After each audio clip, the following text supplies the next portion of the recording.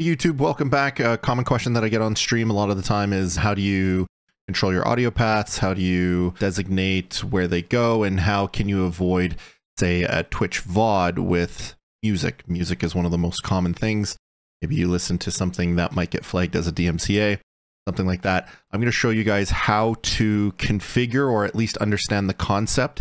And you can use this concept for a multitude of different things can do it for video games, you can do it for browsers, you can do it for um, music. You could literally do whatever you want with your audio pathing. And I'll teach you the general concept so you can understand how you can utilize that to your benefit going ahead for your own recording or streaming.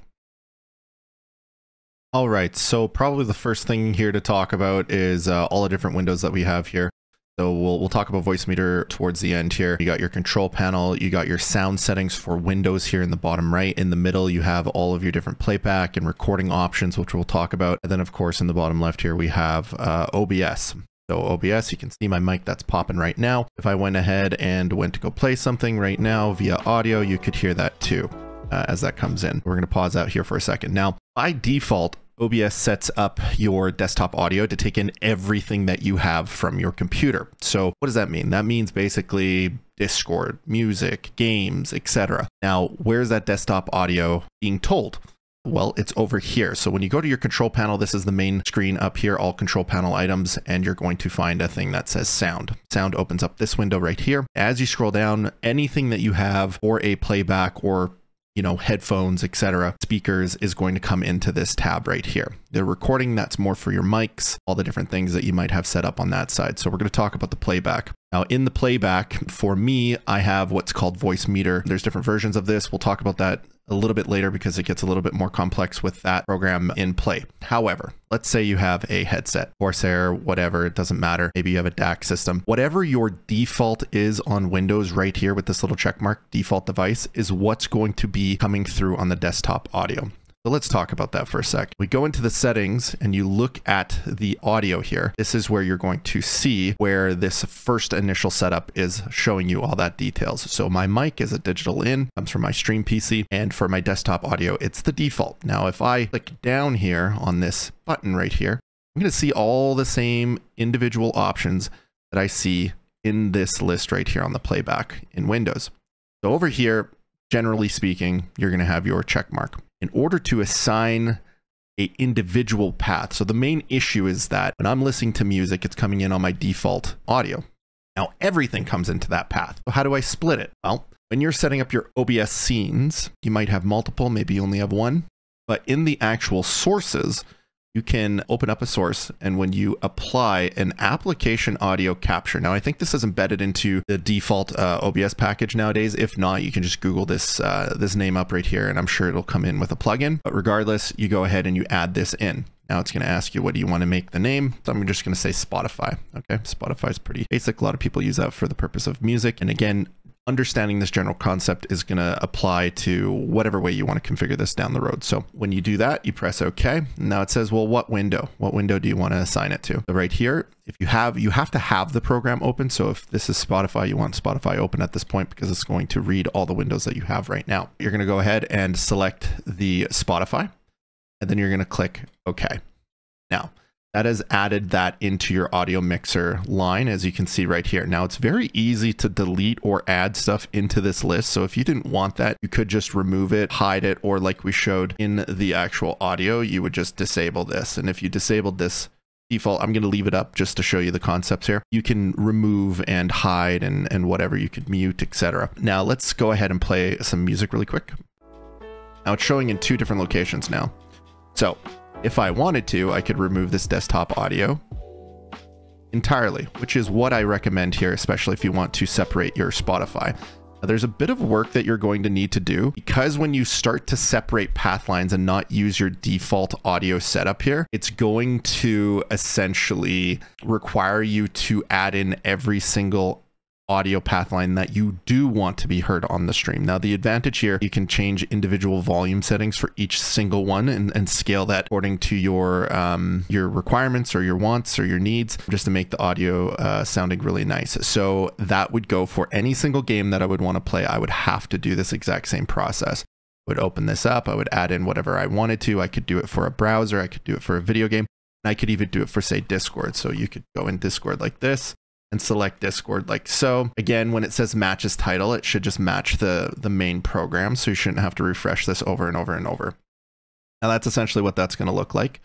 Now, one of the things that I want to make a mention just really lightly, I'm not going to go into this too much, but a lot of people will be looking at that that point this little solution here and being like dang that's a lot to do every single time and i don't disagree. So this is where Voicemeeter comes into play. So back to this little point here with the check mark Voicemeeter is actually my default. The Voicemeeter is a program that essentially is like a digital mixer. So you can set it as a default for windows. You can specify up here through a1 through 5 and there's different versions of uh, Voicemeeter the potato version does have a licensing requirement which I've paid for and I appreciate because they do amazing work. And so there are free versions of this, which are labeled like banana, and there's another one there. So you can just see what works best for you. The general concept is this, is you set this Voicemeeter input as your default kind of headphone thing and you tell where you want this to hardware output. That's where it says right here, hardware out. And so I've told it to not only go to my DAC, which controls my headphones, but I've also told it to go to uh, another location, which actually pushes it over to my stream. Really, it's just for whatever you want to put it to.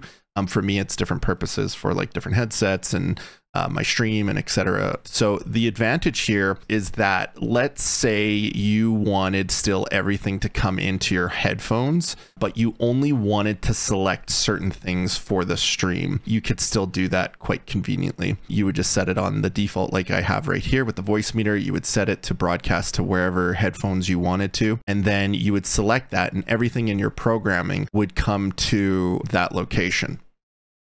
This uh, Voicemeeter route works well with this solution. I'm going to show you guys two solutions, okay? So the Voicemeeter solution is that Windows has the ability to tell which programs go where.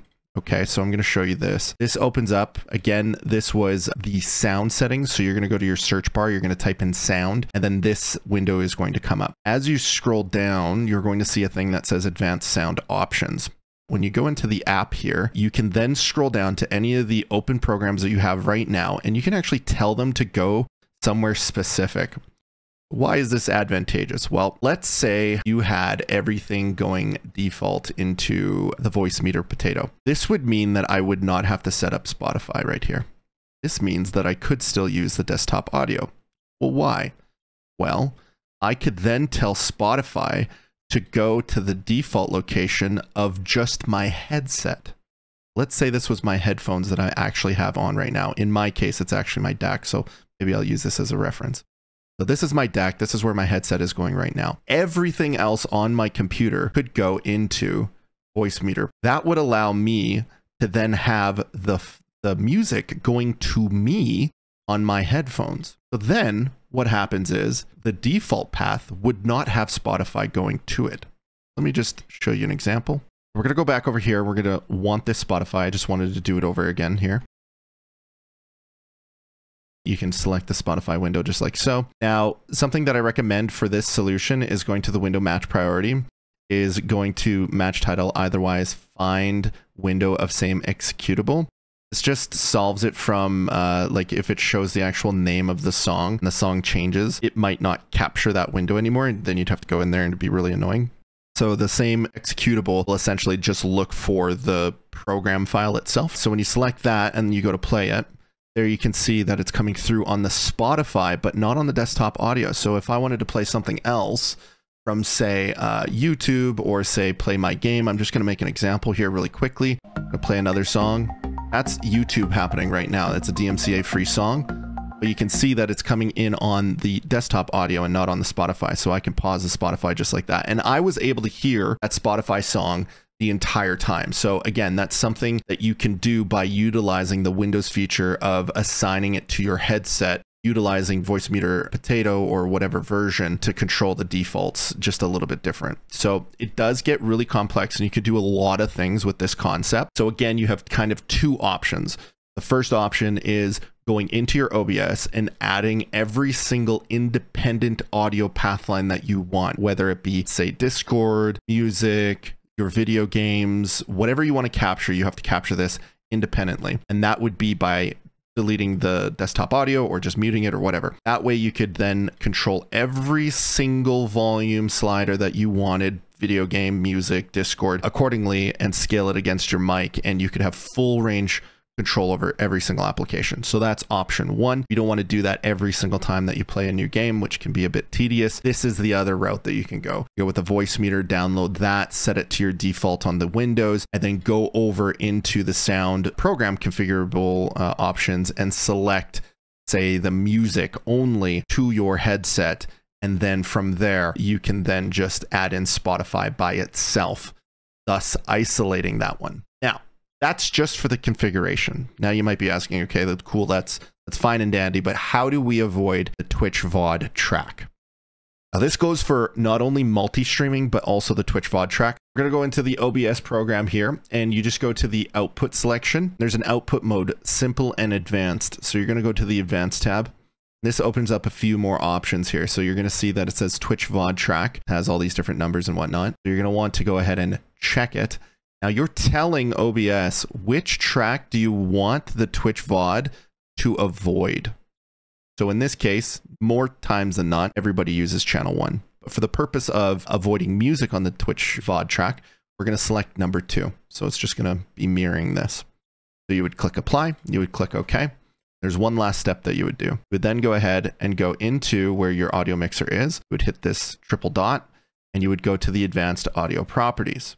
Now in here, you're going to notice that it sh shows all of your audio path lines here, and it shows all the tracks that it's broadcasting on. So in this case, I want to remove Spotify, which controls my music, to track two, which then coincides what we just saw in the output right here on number two.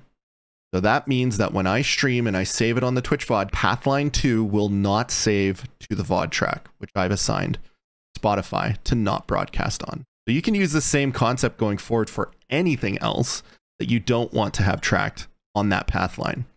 Now, this is good for multi-streaming, and this is also good for anything DMCA related. When it's playing and it's active, if, if you want to see all unactive sources, so active just means things that are always there in the background. Sometimes if you set it up to like show or not show. You see how I, I just did that, the visible eye, it went away. So depending on how you have your sources set up, if they're always broadcasting, then they'll be in here. But if you don't see it, then just uncheck that and you'll, you'll see everything. It might take a second to load, but the general concept right there is again, you can control this for multi-streaming. So a good example is this, you know, if you say stream to say Twitch and say YouTube, YouTube does not mess around with DMCA stuff. They'll just shut your stream down and give you a flag. So anything that you run in your normal broadcast, whether it be a meme thing or a portion of audio that you don't want to have covered, you would find it in this advanced audio property and then uncheck number two on that path line. And then when you're setting up your multi-stream option, there's multiple RMTP plugins that you can set up. And within there, it'll actually show you what audio path line do you want this broadcast to take. So an example, when I set up my, say, YouTube or anything else that I don't want to have these DMCA things on, I will assign it to path line two. So yes, you might have a thing during your broadcast that goes off and there's no audio for it, but hey,